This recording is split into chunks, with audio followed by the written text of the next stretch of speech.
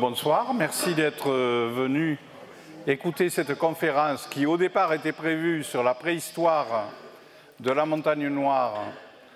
Lorsque j'ai commencé à faire le PowerPoint, je me suis dit, euh, si je fais toute la préhistoire, ça va durer 3 ou 4 heures, c'est pas possible. Donc euh, j'ai décidé de restreindre au néolithique et à l'âge du cuivre, qui sont mes périodes de prédilection, en laissant pour euh, l'avenir euh, les autres périodes, c'est-à-dire les périodes plus anciennes, le paléolithique, et les périodes plus récentes, c'est-à-dire l'âge du bronze et l'âge du fer. Cette conférence, elle est couplée à un projet collectif de recherche qui est financé par le ministère de la Culture, qui vise à étudier, à analyser les étapes du peuplement de la montagne noire occidentale, c'est-à-dire en gros entre le pic de Nord et Saint-Félix de Lauragais, au cours du néolithique et de l'âge du bronze, et en le mettant en relation avec l'évolution du milieu. Il faut savoir que la préhistoire, bon, on n'a pas de source écrite, donc si on veut comprendre ce qui s'est passé dans ces temps très anciens, il faut étudier à la fois les vestiges laissés par les hommes, mais aussi ce qu'on appelle les écofacts, c'est-à-dire les pollens, les charbons de bois, euh, tout un tas d'éléments qui nous renseignent sur le milieu de l'époque. Alors les ossements d'animaux sur les espèces animales, euh, les charbons de bois, les pollens, euh, tout un tas d'autres de micro-éléments sur l'environnement végétal. Et c'est aussi important que les vestiges humains. Cette recherche, elle a commencé dans ce qu'on appelle des stratigraphies, c'est-à-dire des gisements qui sont des grottes ou des abris sous roche qui ont servi de piège. Hein, souvent, les grottes, les abris, c'est creux. Et les hommes euh, y sont passés périodiquement et euh, leurs restes se sont superposés. Ils se sont accumulés au cours des siècles et des millénaires. Et pour nous, c'est très intéressant. Pourquoi? Parce que ça nous donne une vision dans la durée. Et ça nous permet d'analyser justement ce couplage entre les vestiges humains et les vestiges euh, d'écologie, de paléoécologie. Alors, on peut compter plusieurs stratigraphies importantes dans la montagne noire. La principale, c'est la grotte de Gazelle à Salais-le-Cabardès. Salais-le-Cabardès, ça se trouve entre Lastour et Villeneuve-Minervois, pour ceux qui connaissent. C'est une grande grotte qui a deux entrées. C'est la seule grotte de l'Aude qui ait des gravures paléolithiques sur les parois, mais elle ne, se visite pas. Euh, ce sont des chevaux et des bouquetins. Et elle a fait l'objet de fouilles importantes, d'abord par euh, divers amateurs, puis par Jean Guilaine dans les années 70, entre 70 et 80, et puis par Dominique Sacchi pour les niveaux les plus anciens, c'est-à-dire les niveaux du paléolithique. Et elle est, très connue, surtout pour le néolithique ancien, c'est-à-dire le tout début de la période néolithique. Le néolithique, c'est une histoire de confrontation entre des colons qui sont arrivés sur le littoral languedocien autour de 5850 avant notre ère, qui venaient d'Italie, ils venaient d'Italie du Sud ou de Ligurie en bateau, et ils apportaient avec eux des animaux domestiques, donc c'était déjà des gros bateaux, puisqu'il fallait au moins qu'il y ait des couples d'animaux pour qu'ils se reproduisent. Donc des chèvres domestiques, des moutons domestiques, des bovins domestiques et quelques porcs. Le chien, lui, il était domestiqué bien avant. Et au néolithique, il n'y a pas de chevaux. Le cheval, c'est venu plus tard, à l'âge du bronze. Donc ces gens sont arrivés en Languedoc avec ces animaux domestiques et ils ont rencontré les locaux, les indigènes. Les indigènes, c'était des chasseurs-cueilleurs, qu'on appelle nous mésolithiques. Et évidemment, euh, ça n'a pas dû se passer très bien. Enfin, dans certains cas, on peut imaginer qu'il y a eu des contacts pacifiques, mais dans beaucoup de cas, il y a dû avoir des, des rixes pour le territoire. Et donc, pendant à peu près un millénaire, il y a eu une confrontation entre ces colons migrants qui apportaient le progrès, en gros l'agriculture et l'élevage, et les indigènes qui étaient des chasseurs-collecteurs qui défendaient leur territoire de chasse. Donc les anthropologues américains ils comparent cette situation du néolithique, d'expansion du néolithique, à ce qui s'est passé aux États-Unis au XVIIe, XVIIIe, XIXe siècle, c'est-à-dire le contact entre des fermiers européens avec euh, vaches, etc., moutons, agriculture, etc., et les, indigènes chasseurs, c'est-à-dire les Indiens. en gros, on peut imaginer que la situation est très, elle est très comparable. Alors, dans certains cas, ça a pu donner lieu à des échanges, voire à des mariages bon, entre les deux populations, mais dans beaucoup de cas, je pense que les chasseurs-cueilleurs ont été éliminés. Et, puis, euh, la démographie étant ce qu'elle est, les agriculteurs, évidemment, ont beaucoup plus d'enfants, ont un développement démographique beaucoup plus important que celui des chasseurs-cueilleurs, qui sont obligés de se limiter pour ne pas épuiser les ressources naturelles. Et donc, évidemment, au bout de quelques siècles, voire un millénaire, les chasseurs ont disparu euh, ou bien ont été refoulés vers l'ouest. Hein. je vous rappelle le problème des Basques. Vous savez que les Basques, ils ont une langue qui n'est pas indo-européenne. Donc elle remonte sans doute à avant 10 000 avant Jésus-Christ. Et en plus, ils ont des gènes, des groupes sanguins, qui sont des isolats. Donc on peut imaginer que les Basques sont peut-être les descendants de ces chasseurs-cueilleurs de l'époque. Par contre, les néolithiques, eux, c'est le brassage. Hein brassage. Alors, euh, actuellement, on peut développer des études génétiques sur les restes humains néolithiques et on s'aperçoit qu'ils ont une variabilité très proche de celle du Proche-Orient. Donc, l'origine, en gros, elle est proche-orientale. Mais ça ne s'est pas fait d'un seul mouvement, d'un seul trait du Proche-Orient jusqu'à chez nous. Ça s'est fait par saut de puce de l'Irak en Turquie, de la Turquie à la Grèce, de la Grèce à l'Italie, de l'Italie chez nous, et de chez nous en Espagne. C'est un mouvement qui a mis 3000 ans. On, estime le rythme de développement du néolithique à environ 2 km par an. Vous voyez, c'est une migration, mais une migration très lente. Alors, d'autres stratigraphies du, Languedoc, de la Montagne Noire, euh, l'abri de fond juvénal. L'abri de fond juvénal, c'est moi qui l'ai découvert. C'était un endroit où on partait faire l'omelette, l'omelette de Pâques, chaque année. Et on avait repéré cette falaise avec cette espèce d'abri naturel. Et j'avais dit à Guylaine, il faudrait le sonder parce que je crois que c'est très épais. Effectivement, il y a plus de 6 mètres de remplissage et l'occupation a duré de moins 5500 jusqu'à l'âge du fer, c'est-à-dire au premier siècle avant notre ère. Donc on a, fouillé niveau par niveau une cinquantaine de niveaux d'habitat de toutes ces périodes et là, on a bien vu l'évolution à la fois des restes euh, poteries, silex, etc., mais aussi l'évolution de l'économie, c'est-à-dire des, animaux qui étaient consommés.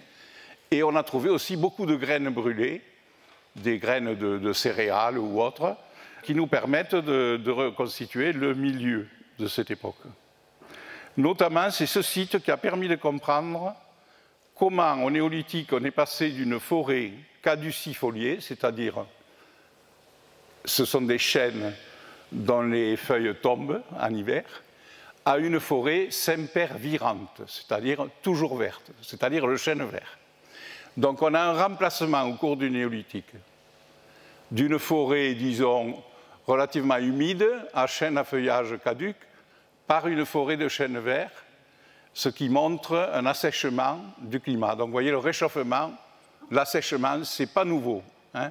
Ça remonte à au moins 3000 ans avant Jésus-Christ. Autre intérêt de ce site, c'est que les gens qui étudient les sédiments au microscope ont vu que le sédiment de cet abri était constitué de crottes de biques, de crottes de moutons et de crottes de chèvres. Donc cette grotte, elle servait en fait de bergerie. Et de temps en temps, euh, quand c'était trop épais, quand le fumier était trop épais, on le brûlait, ce qui fait que ça faisait des niveaux de cendres et ça explique en gros la fonction de, ce site. Une autre stratigraphie, la grotte de la Calme à Aiguefonde, dans le Tarn, donc c'est pas loin d'ici.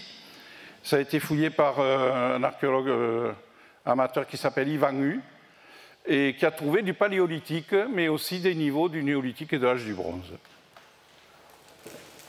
Et encore plus près de chez nous, la grotte de Saint-James à Sorèze, qui comportait certainement une stratigraphie mais sur laquelle on n'a pas énormément de, renseignements. Alors, au néolithique ancien, quelle est la situation? Donc il faut imaginer que des colons néolithiques venant d'Italie, avec tous leurs bagages, euh, leurs animaux, les céréales domestiques, se sont établis en Languedoc. On a retrouvé leur site, euh, notamment dans la région de Port-Iragne et dans la région limoise. Et puis peu à peu, ils ont gagné vers l'intérieur. Et là, leur culture s'est un peu modifiée. C'est ce qu'on appelle, nous, le cardial. Pourquoi? Parce que les poteries sont décorées par impression d'une coquille de cardium. Et puis ensuite, il y a peut-être eu des mixités avec les indigènes, les chasseurs-cueilleurs locaux, et ça a donné d'autres cultures qui sont des cultures qu'on appelle continentales, c'est-à-dire euh, elles se sont surtout développées vers l'Aveyron, l'Aquitaine, euh, avec des formes d'expression particulières. Alors, bon, je vous montre un peu quelques aspects de ce néolithique ancien. Les pointes de flèches de l'époque, c'est ce qu'on appelle des pointes de flèches à tranchant transversal.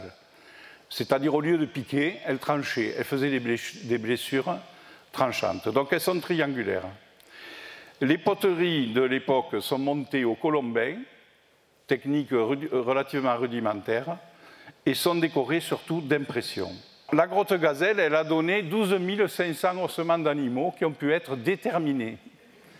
Donc c'est intéressant parce que ça nous permet de voir les proportions d'animaux sauvages et domestiques et de voir aussi à quel âge ils étaient abattus pour les animaux domestiques.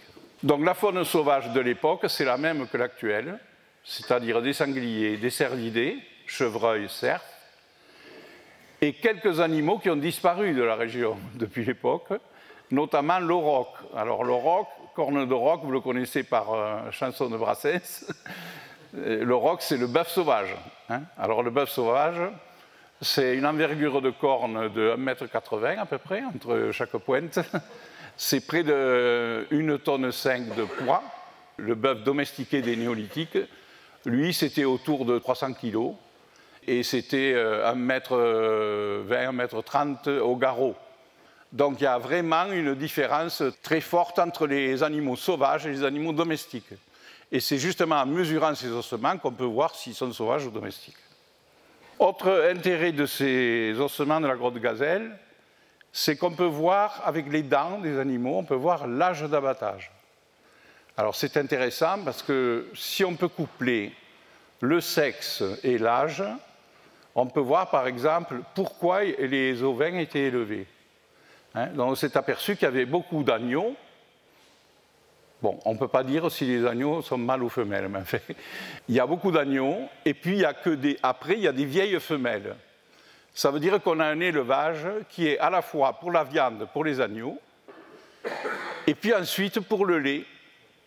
Donc déjà, dès cette époque-là, on élevait les ovins et les caprins pour le lait. Pour les bovins, c'est plus délicat de le dire, parce que les bovins, c'est un problème, euh, l'exploitation du lait chez les bovins, c'est un problème assez compliqué, parce que vous savez qu'il y a des intolérants au lactose. Donc, par exemple, les Romains, euh, les Romains ne buvaient que du lait de chèvre ou de mouton, et ils ne buvaient jamais de lait de vache. Le lait de vache, c'était les, les germains, c'était les barbares. Mais en tout cas, on peut faire les mêmes profils à partir des bovins. Mais à Gazelle, il y a peu de bovins. Il y a peu de bovins, donc on n'a pas pu le, l'examiner. Et ensuite, ils chassaient évidemment des animaux sauvages pour les peaux. Les hommes préhistoriques s'habillaient de peaux de bêtes, c'est connu, c'est dans tous les manuels scolaires. Donc on trouve évidemment beaucoup de restes d'animaux à fourrure, y compris l'ours brun hein, qui était présent dans la région à l'époque. Alors cette grotte gazelle, elle a donné aussi des sépultures très intéressantes parce que si on fait de l'ADN, c'est en cours, là, on n'a pas les résultats, mais si on fait de l'ADN, on pourra voir si ce sont des autochtones néolithisés par contact, ou bien si ce sont des gens qui dérivent des lignées proche-orientales, donc si ce sont des arrivants, des nouveaux arrivants.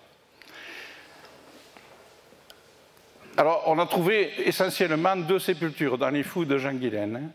Une d'un homme dans une espèce de coffre de pierre, qui avait comme offrande un crâne de sanglier sur le visage, vous le voyez dessiné. Et l'autre, c'est une sépulture de femme qui tient un enfant, un jeune enfant, dans ses bras. ça veut dire que les deux sont morts en même temps. qui a sans doute un lien de parenté entre les deux. Alors, fond juvénal maintenant. Fond juvénal, voilà, vous voyez l'épaisseur des sédiments. Dans les niveaux supérieurs, on est à l'époque romaine, en gros, dans le premier mètre. Puis on est dans le néolithique sur 5 mètres. Et les deux derniers mètres au fond, c'est le début du néolithique, c'est-à-dire vers 5500 avant notre ère. Voilà, des poteries de ce site. La grotte du Figuier, que connaît bien Jean-Paul Calvé, donc c'est une grotte difficile d'accès, mais elle a livré un document exceptionnel qui est une hache en jade en forme de goutte.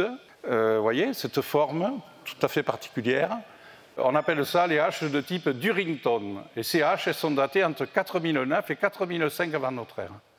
Ça veut dire qu'au néolithique ancien, la grotte du Figuier a, a été occupée, elle a fait l'objet d'un dépôt. Est-ce qu'il y avait une sépulture de cette époque? On n'en sait rien parce que ça a été fouillé anciennement. Mais ça peut être aussi un dépôt votif, hein, parce que ces grandes haches, elles, étaient extrêmement précieuses. Hein. Il faut savoir qu'elles viennent de la région du mont de Voltry, au nord de Gênes. C'est un endroit très localisé qui fait que quelques dizaines de mètres carrés et ça diffusé dans toute l'Europe. C'est des objets ultra précieux pour l'époque. Ça peut être un dépôt, euh, soit d'une sépulture, mais je ne crois pas trop, soit plutôt un dépôt votif, un dépôt de consécration, offert aux dieux, en gros, échange de la réalisation d'un vœu. Autre grotte sans doute occupée au néolithique ancien, celle de Saint-James à Sorèze. On y a trouvé notamment un racloir à arc sur un, fragment de, de, de canine sanglier. C'était des outils extrêmement tranchants qui servaient à écorcer les bois pour faire des arcs une fléchette en haut, une fléchette qui est une armature typique du néolithique ancien, et une autre hache en jade, qui est plus petite que celle de la grotte du Figuier, mais qui est quand même en jade elle aussi, produit précieux. Et on arrive à Arfon, où j'ai trouvé dans les années 70-80, dans un reboisement, les restes d'un campement de cette époque, avec des pointes de flèches tranchantes, les mêmes que celles de la grotte Gazelle, et des poteries à des corps imprimés, les mêmes que celles de la grotte Gazelle. Ça veut dire qu'il y avait au bord du Sort, en aval de Harfon, un habitat, sans doute temporaire, datant autour de 5000 avant notre ère. Enfin, un site plus récent, c'est celui de l'Estrade à Mireval, il faut savoir que nous, les archéologues, on travaille le plus souvent en urgence. C'est-à-dire qu'on suit les travaux et on essaie d'intervenir avant que les travaux ne détruisent les sites. Mireval, c'est connu pour ses sablières. Hein, ça se trouve à côté de Castelnaudary. Et chaque fois qu'il y a des dégagements à la pelle mécanique pour exploiter le sable euh, naturel, on trouve de l'archéologie. mais de toutes les périodes, romaines, médiévales y compris de la préhistoire. Et là, on a un habitat vers 4500 avant Jésus-Christ. Alors, il y a d'autres trouvailles qui sont vraiment exceptionnelles dans la région. Ce sont des grandes haches en jade dont j'ai parlé tout à l'heure, mais elles ont été trouvées de façon isolée dans des champs. Certaines ont fini dans des musées, comme celle de Pesins. Euh, celle de Pesins, on ne sait pas exactement où elle a été trouvée, mais c'est une hache qui est de type breton très surprenant. Vous voyez, elle a une arête, elle a un talon très pointu et une arête. Et ça, c'est typique de toutes les haches qu'on trouve dans les tumulus autour de Carnac, en Bretagne.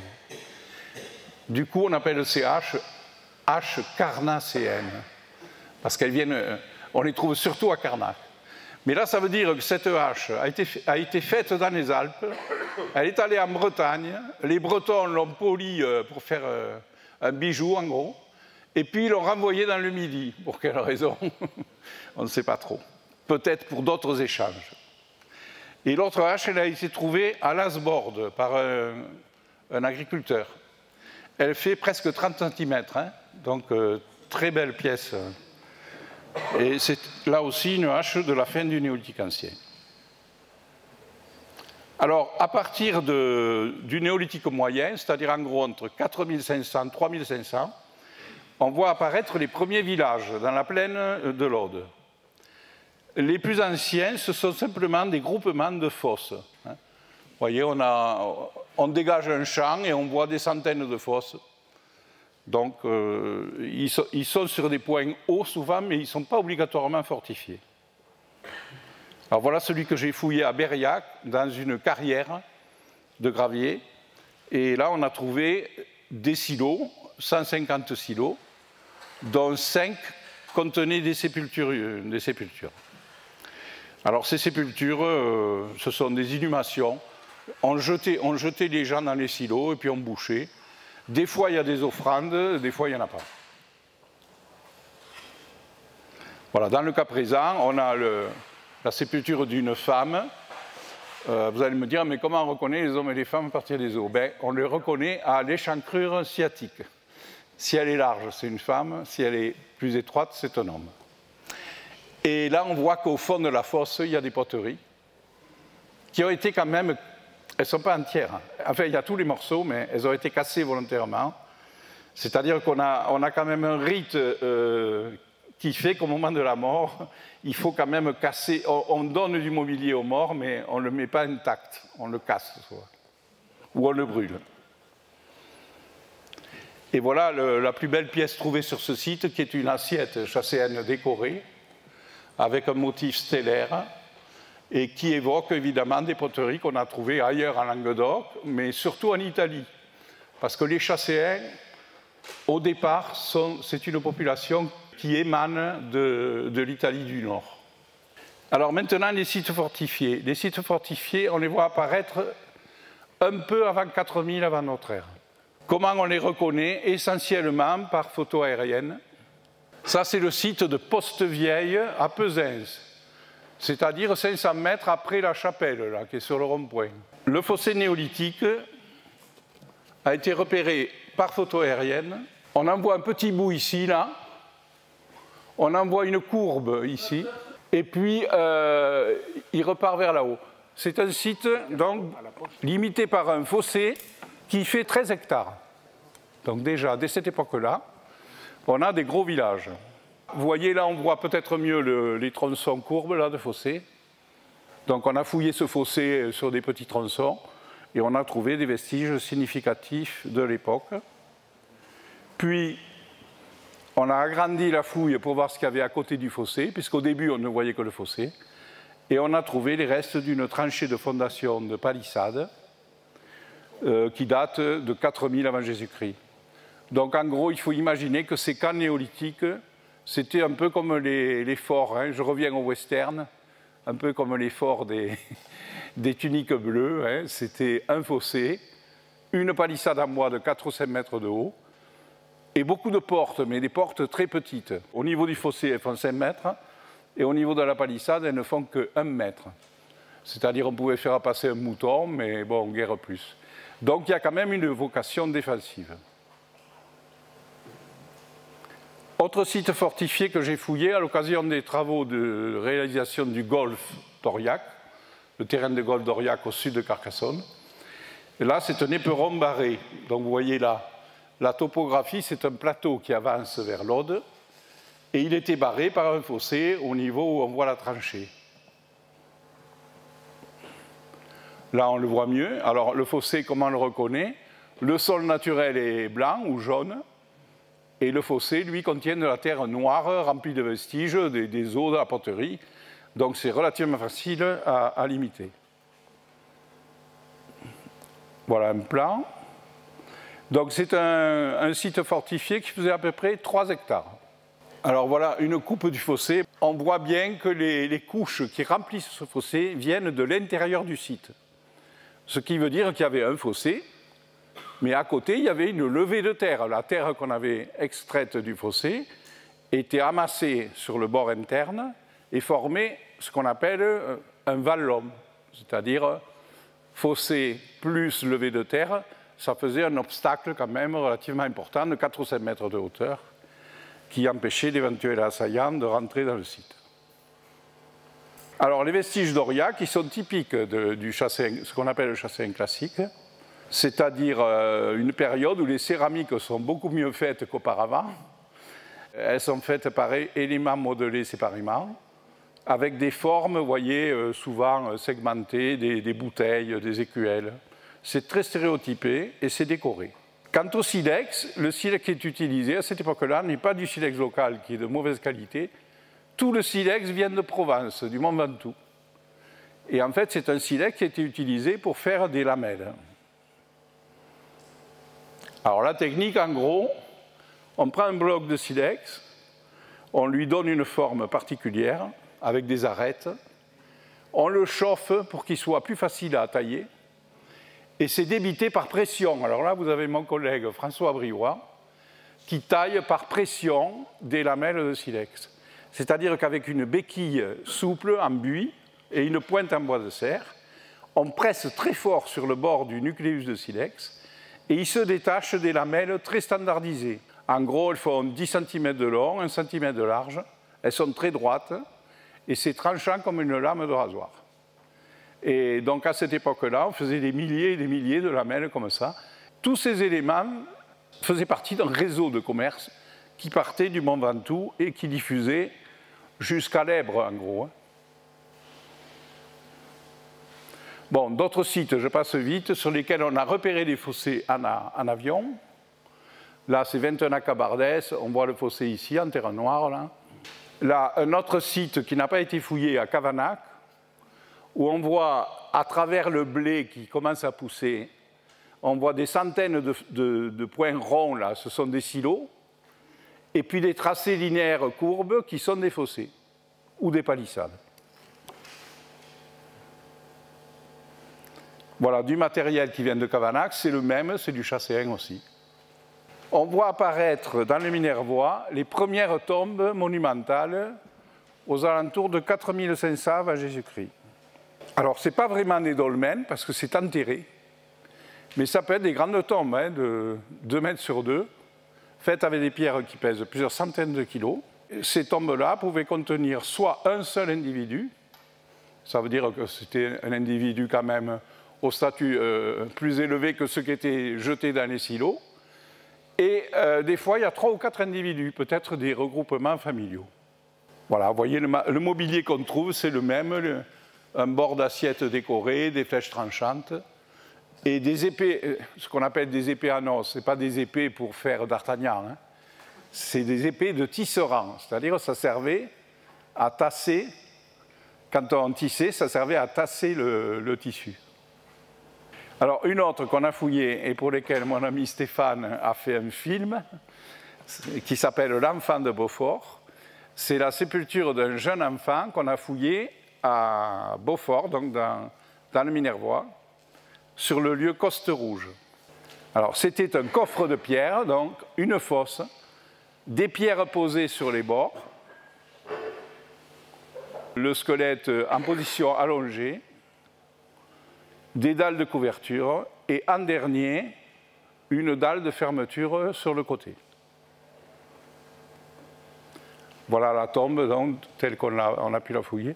Les dalles de couverture, en fait, elles avaient été arrachées par le, charruage de vigne.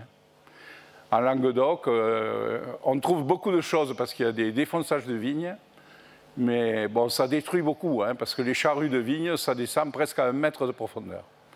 Donc quand il y a des sites dessous, en général, ils sont détruits. Alors voilà, donc la position du squelette, c'était un enfant de 7 ans qui était associé à du mobilier. Alors il y a du mobilier dont on peut comprendre la signification, à savoir des pendeloques en os, deux pointes de flèche et deux lamelles de silex.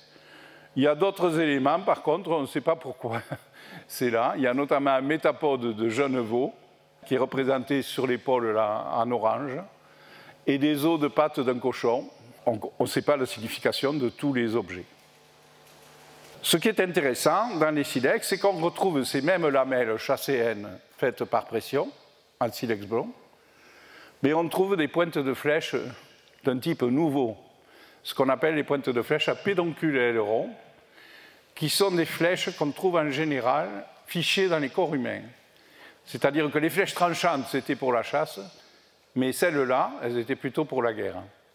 Donc là, on peut penser que ces offrandes, on les a mis à, cet enfant pour signifier que euh, s'il avait vécu, il aurait pu peut-être être un grand guerrier.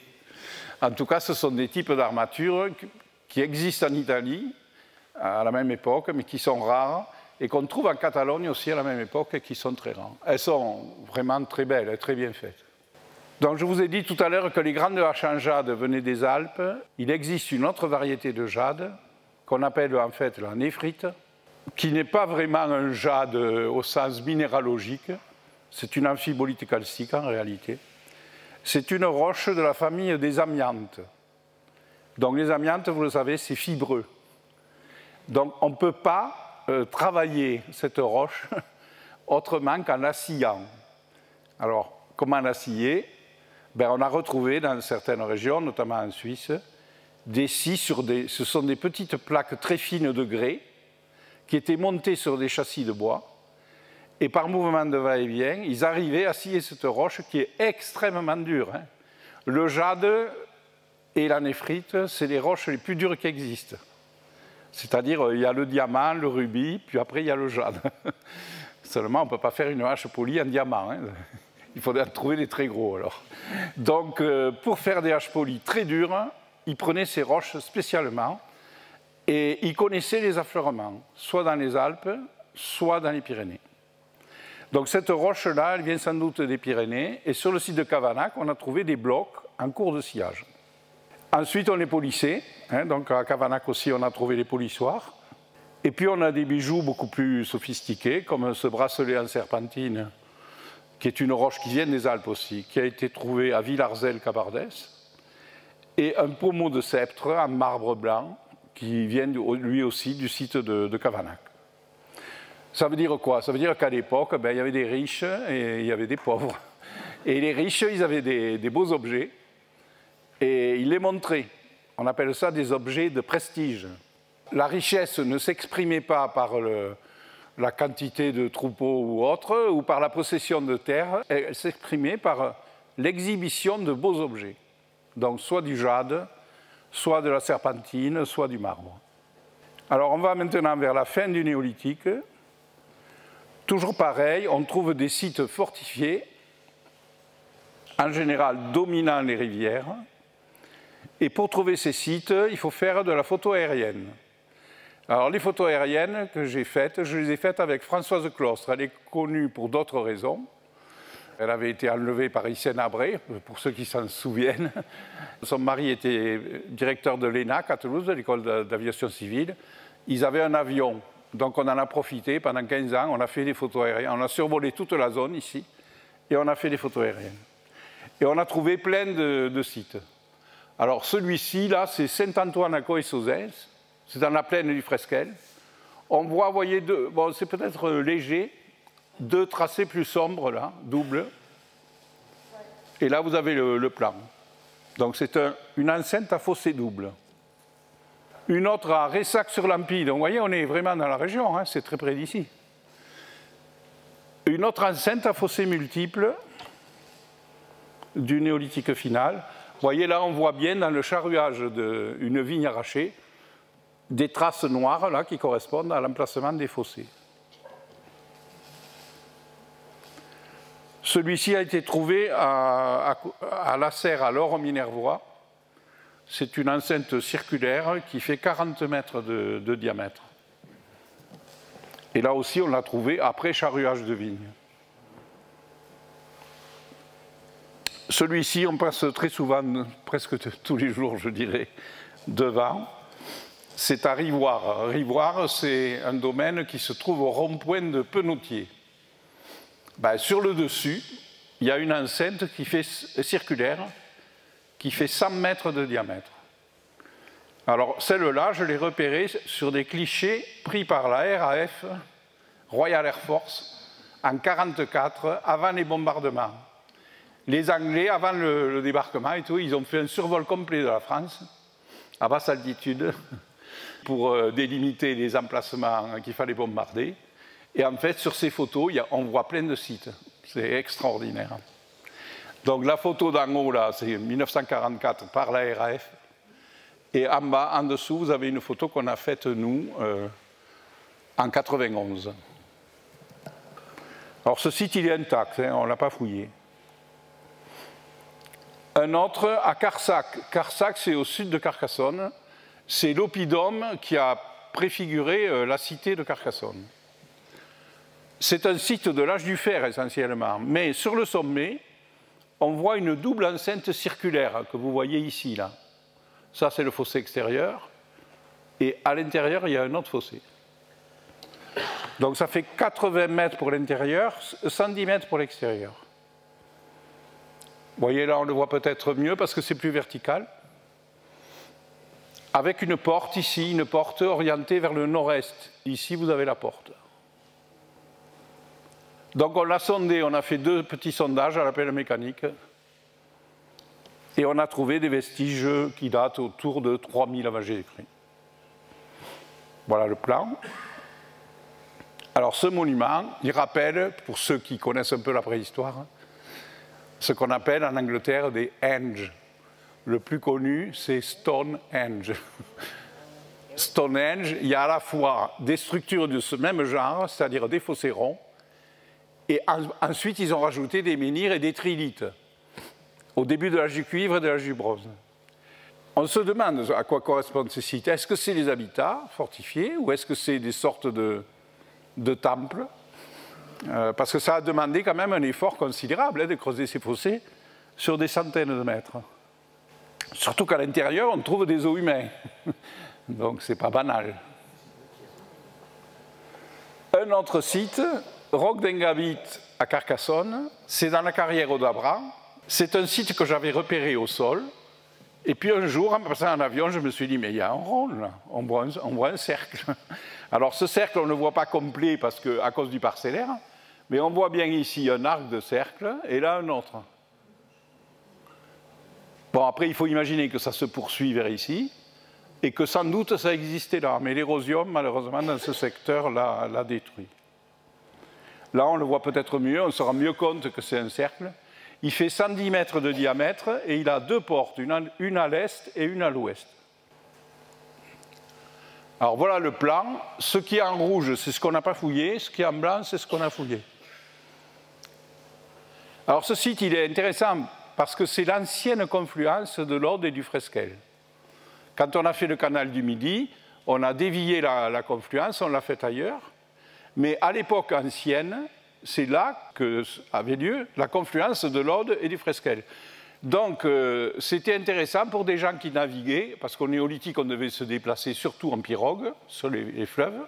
Donc, c'était intéressant parce que c'était un carrefour de voies. La voie qui remontait la vallée de l'Aude et celle qui allait vers, Toulouse. Alors, ce fossé de Roc d'Engabit, il est énorme. Hein. il fait 10 mètres de large, 3 mètres 50 de profondeur. Donc, vous imaginez le cubage de terre que ça représente. Pour des gens qui n'avaient pas de pelle-bêche, hein. ils n'avaient pas d'outils en métal. Hein. Ils faisaient tout avec des pics en bois de serre ou des outils en bois. Donc là, vous avez la fouille en cours. Alors évidemment, on l'a fouillé par niveau. On a vu qu'il avait été creusé vers 3200 avant notre ère et qu'il était complètement rempli aux alentours de 2500 avant notre ère. Alors dedans, évidemment, euh, tout un tas de vestiges, notamment des os d'animaux, parfois des animaux entiers. Et le dernier, bon, je le garde pour la fin parce que c'est le plus beau, c'est le Moural à Trèbes. Pour ceux qui connaissent la région de Carcassonne, c'est à côté du domaine de Millegran. C'est un site que j'ai fouillé pendant 5 ou 6 ans, dans une carrière aussi, là, la carrière de l'entreprise Rivière. Donc c'est un site, on a eu de la chance, parce qu'on l'a vu en avion, juste quand ça venait d'être décapé, et parce que l'entreprise voulait exploiter des graviers. Donc on a eu la chance de, trouver le site, euh, de le décaper à la main très précisément et de l'étudier en détail. Alors ce site, il se compose d'un fossé, deux portes, une ici, une autre là, une palissade en bois qui double le fossé, une tranchée de fondation, et au milieu, fait exceptionnel, parce qu'en général c'est détruit, les champs ont été labourés profondément, Là, on a trouvé des trous de poteaux de deux grandes maisons. Hein, on a trouvé des trous de poteaux remplis de terre noire, avec même des charbons de bois à l'intérieur. De deux grandes maisons, une qui fait 38 mètres de long et qui est une maison à ossature bois, c'est-à-dire qu'on a des poteaux de bois qui tiennent euh, les murs, et puis des poteaux au milieu qui tenaient le fait du toit. et un bâtiment plus petit, trapézoïdal, qui fait 12 mètres de, large et une quinzaine de mètres de long. Donc ça, c'est exceptionnel parce que c'est pratiquement les seules maisons, les restes de maisons en bois néolithiques qu'on ait pour la région ici. Voilà le plan, donc. Alors ce site, il a eu une histoire interne, hein, c'est-à-dire qu'au début, les deux portes étaient assez larges, elles faisaient 5 mètres de large, et puis on ne sait pas pour quelle raison, la porte ouest a été réduite, c'est-à-dire ils ont recreusé pour réduire l'ampleur du passage, à la fois au niveau du fossé et à la fois au niveau de la palissade. Voilà donc euh, des vues de la fouille de ce site, fossé, palissade. Donc les poteaux, là, on a pu calculer, on a retrouvé l'emplacement. C'était des poteaux d'une trentaine de centimètres de diamètre. Et ils devaient faire plusieurs mètres de haut. Hein. C'était du chêne. Ça, c'est l'endroit qui a été recreusé. Et ensuite, euh, à l'intérieur de ce fossé, évidemment, on a trouvé beaucoup de, vestiges. Voilà. Donc je passe assez vite. Des poteries. Et voilà les restes, comment vous les voyez, les restes des maisons euh, au sol. Alors, grâce à l'école d'architecture de Toulouse, on a fait faire des modélisations par des architectes professionnels qui ont des logiciels 3D.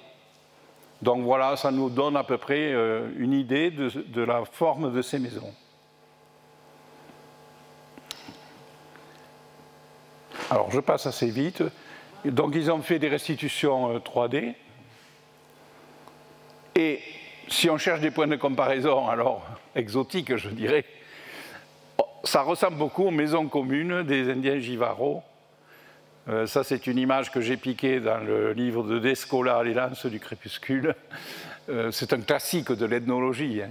Mais on peut imaginer qu'à cette époque-là, on, euh, on construisait dans la région des, sites du même genre, hein, c'est-à-dire palissades, grandes maisons. Voilà, d'autres images du même ouvrage. Donc ça nous donne l'idée quand même d'un site qui n'est pas un site commun, hein, parce que les sites néolithiques en général, c'est des petites fermes. Là, ça nous donne plutôt l'image d'un site fortifié, avec très grandes maisons, donc un peu, euh, en gros, euh, sorte de château féodal de l'époque. Hein. Ce site-là, ce n'est pas l'habitat du commun des mortels, c'est sans doute un habitat de pouvoir de gens de l'époque. Ça, c'est une restitution. Alors, je ne suis pas aussi bon que Christophe en dessin. Hein. C'est pour donner une idée. Puis, je me suis amusé à faire la carte du bassin de l'Aude autour de 3000 avant Jésus-Christ. On voit que ces enceintes-là, dont je viens de vous parler, en gros, tous les 3 km, il y en a une, dans le secteur de Carcassonne. C'est la zone où on a prospecté, nous. Mais on peut imaginer que si on va vers Narbonne, on va trouver la même chose. Et vers Béziers, on sait qu'il y a beaucoup de sites de ce genre aussi. Donc, euh, en, gros, la région a été parsemée comme ça de sites dominants à l'époque, avec des fortifications. Alors, en rouge, vous avez les dolmens, dont je vais parler dans un instant, si je ne suis pas trop en retard. Ça, c'est la, la, seule maison qu'on ait trouvée en photo aérienne à Ressac-sur-Lampie. Là, vous avez un rectangle et trois trous de poteaux au milieu. On est allé à l'emplacement, on a ramassé des silex, de la poterie. Probablement, c'est probablement néolithique. Mais tant qu'on ne l'a pas fouillé, on n'est pas sûr. Alors, cette période donc, du néolithique, elle se finit par l'âge du cuivre. Et l'âge du cuivre chez nous, c'est ce qu'on appelle le campaniforme. Ça dérive du mot campana, espagnol, la cloche. Et vous voyez qu'effectivement, ces gobelets, là, ils ont une forme de cloche c'est une civilisation qui couvre toute l'Europe.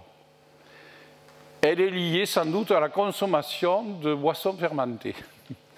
En tout cas, il y avait des analyses dans ces poteries qui ont trouvé qu'il y avait des ferments de boissons alcoolisées.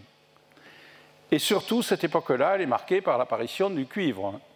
Mais le cuivre qui devient euh, commun, je dirais. Et sous la forme soit de poignards, que vous avez ici, en bas, des poignards, des haches plates, des pointes de flèches en cuivre dites de palmela, parce que les premières, on les a trouvées au Portugal, des pointes de flèches en silex à pédoncule et et puis ces objets bizarres là, qu'on appelle brassards d'archer. Ça servirait à protéger le poignet quand on tire à l'arc pour éviter que la corde ne blesse l'intérieur du bras. À Moural, sur le site de Trèbes, donc, on a trouvé plein de gobelets dans la dernière couche de remplissage du fossé. Ça veut dire que les campaniformes ont occupé le site. Voilà, tous ces gobelets, vous voyez, c'est les, mêmes, c'est très standardisé.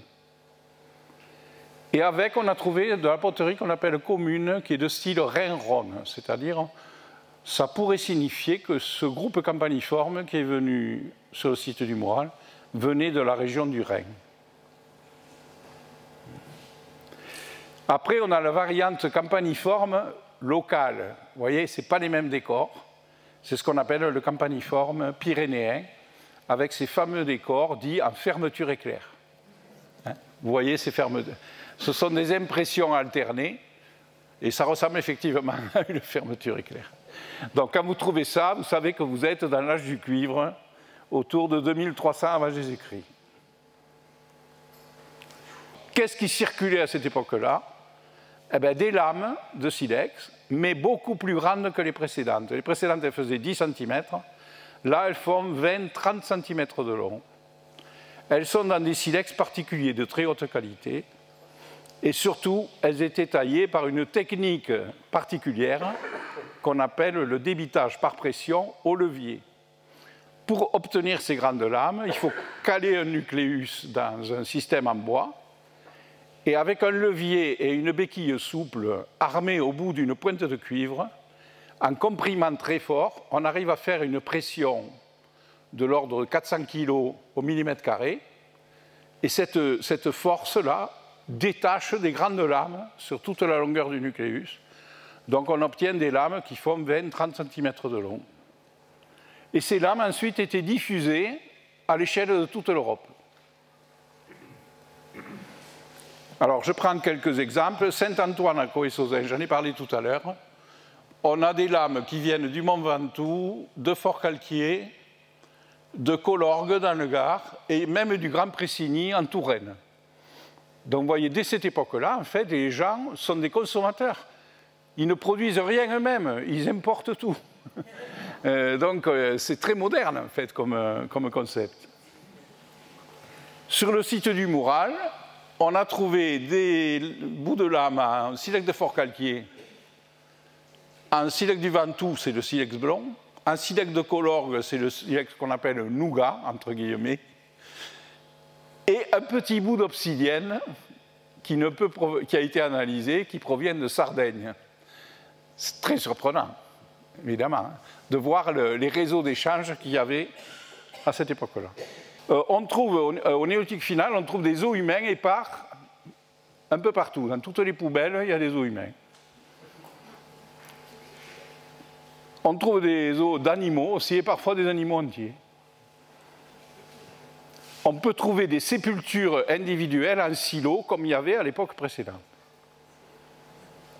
Mais ce qui est le plus typique, c'est les grottes sépulcrales. La grotte de Roquemort à Saint-Amancé, c'est à 3 km d'ici, hein. une grotte qui a été fouillée par une équipe euh, à la fois de spéléologues et d'archéologues de Toulouse. C'est une grotte qui avait un habitat près de son entrée, mais l'entrée, en fait, elle n'a pas pu être explorée parce qu'elle était effondrée. Et pour y pénétrer, il a fallu buser, je crois. Ils ont mis des grosses buses en, béton pour la fermer. Donc l'avant de la grotte, c'est un habitat, et toute la galerie qui suit, ce sont des sépultures. Donc il y en a, je crois, 7 ou 8 en tout. Et ce sont des sépultures, mais particulières, parce que les corps n'étaient pas inhumés. Ils étaient déposés dans la grotte et euh, ils n'étaient pas enterrés. Ils étaient laissés comme ça. Donc, est-ce qu'ils étaient momifiés Peut-être? Est-ce qu'ils étaient emballés dans des vanneries ou autres Peut-être? Toujours est-il qu'ils n'ont jamais été enterrés et donc ils se sont conservés jusqu'à nos jours surtout lorsqu'ils ont été pris dans la calcite, hein, parce que dans les grottes, vous savez, il y a des concrétions. Alors voilà une autre, avec une photo que j'ai prise dans un ouvrage de Jean-Paul, et le plan à côté. Alors ce plan, je ne sais plus, c'est peut-être Dudé qui l'a fait. Grotte de Roquemort avec une autre sépulture euh, d'une femme qui portait un collier de 87 perles, qui sont figurées en rouge, vous voyez c'est groupé. Et le mobilier, donc euh, toujours la même chose, grande lame, épingle à noces, et ce qu'on appelle scie en coche. Scie en coche, ce sont des éclats avec deux coches au bout qui servaient à la fixation dans un manche en bois. Alors c'est intéressant parce que là, on a une lame qui vient en silex du Languedoc. Euh, ces scies en coche, elles sont typiques d'une civilisation qu'on appelle l'Artenac et qui est surtout dans l'ouest de la France. Alors c'est intéressant parce que là, Saint-Amancé, on est sur le tombant océanique. Et on a à la fois des objets qui viennent du midi méditerranéen et d'autres objets qui viennent de la façade atlantique. L'épingle aussi, l'épingle est typique de l'Artenac. C'est un autre objet qui, qui dénote des influences océaniques. Alors, sur Roquemort, il y a eu une analyse anthracologique qui n'est pas signée dans le rapport dont j'ai disposé, mais je sais qu'elle est de Stéphanie Thiebaud, qui a été directrice de l'Institut d'écologie du CNRS. Elle a étudié 610 charbons des foyers de cette grotte. C'est intéressant parce que ça nous donne vers 2500 de quoi se composait la forêt autour du site. Alors en gros, il y a les mêmes arbres qu'actuellement, c'est-à-dire des frênes, des chênes à feuillage caduc. Par contre, il y a très peu de hêtres, alors que de nos jours, le hêtre est dominant. Ce qui veut dire que le climat n'était sans doute pas le même à l'époque. Et ce qui est très surprenant, c'est qu'il y a 20% d'ifs. L'if, ce n'est pas un arbre qu'on voit fréquemment dans le milieu naturel. On peut en voir dans quelques parcs privés, mais c'est assez rare dans le milieu naturel. Donc je me demande si c'est, euh, Stéphanie a, conclu que le, le, climat était très humide s'il y a beaucoup d'if, parce que l'if, ça pousse en Écosse, en Bretagne, en Normandie, Condé, les ifs. Hein. c'est un arbre euh, océanique. Mais il faut savoir que l'if, dans la préhistoire, c'était l'arbre, le bois, utilisé spécialement pour les arcs. Donc je me demande en fait s'il n'aurait pas brûlé des déchets de fabrication d'arcs. Et si la grotte n'était pas euh, un repère de chasseurs où on fabriquait les arcs, des points de flèche, etc. Bon, là, il faudrait étudier davantage pour le préciser. Autre mobilier funéraire, la grotte de Saint-Jean, donc bracelet, lame, pointe de flèche, c'est toujours euh, à peu près les mêmes choses. Je finis par le mégalithisme, donc avec des photos, pour certaines repiquées dans les sites internet, donc je suppose que Jean-Paul doit y être pour quelque chose. Donc on a des menhirs dans la région, on a des grands menhirs comme celui de Malve ou celui de Mazamé, Hein, qui font plus de 4 mètres de haut. On a un petit alignement qui est à l'entrée du village de la Cabarède. On a deux menhirs qui ont des formes de statues menhirs, voyez, en forme de borne. Ils sont à côté, alors il y a une légende, on les appelle les deux sœurs, parce qu'on dit qu'elles se rapprochent, mais en fait, c'est une légende, hein, sans doute du Moyen-Âge. Mais il y a quand même une espèce d'hôtel religieux, enfin, il y a des cérémonies qui se font toujours sur ces pierres. Je pense que c'était probablement des statues menhirs, mais, dont le décor est, effacé.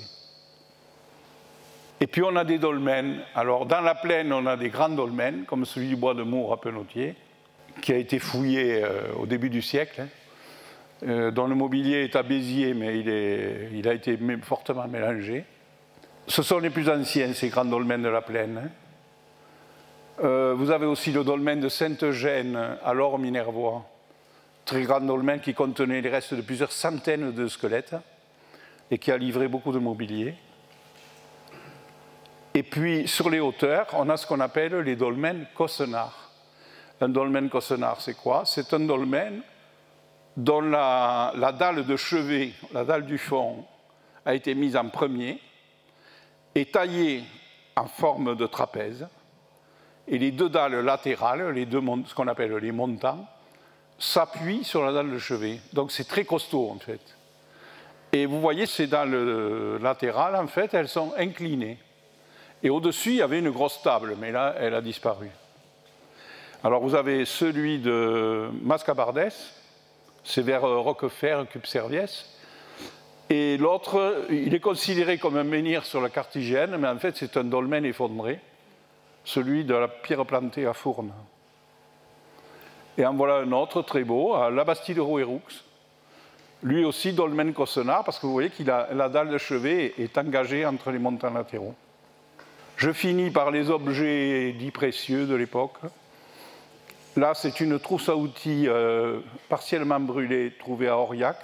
C'est des outils en bois de serre, dont la pièce du haut est ce qu'on appelle un pic d'armes. Ça servait à, à taper sur la tête des voisins et à leur faire des trous bien ronds. Voilà, d'autres objets euh, précieux. Un poignard trouvé à Villemagne, qui est un silex importé dans la région du Grand Pressigny, donc de Touraine, le fameux bracelet de la grotte de Saint-James, et les premiers outils en métal, euh, notamment en DH plate, et euh, quelques objets en or assez rares, des perles olivaires. Alors l'or, c'est une métallurgie, vous le savez, l'or, on le trouve par orpaillage, donc c'est une technique particulière. Tandis que le métal, le cuivre, il faut fondre du minerai ou utiliser du cuivre natif. Donc la région est intéressante ici parce que euh, un peu au nord de la montagne noire, on a des mines qui contiennent du cuivre natif hein, dans la région, dans l'albigeois cristallin. Euh, donc c'est une région ici qui a pu être privilégiée pour l'exploitation du, minerai de cuivre. Voilà, je, je termine par là. Et je suis à l'écoute de vos questions si vous en avez.